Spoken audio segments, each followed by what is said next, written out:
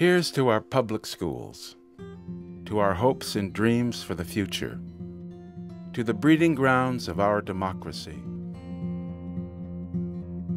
They have taken some hard knocks lately.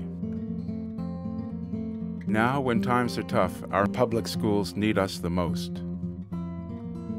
Let's give them support, not scorn, so they can give our children what they need most a chance to imagine, explore, and create a world that is better than the one they have today.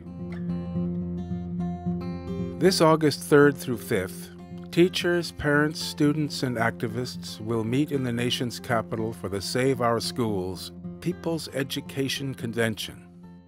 Join us.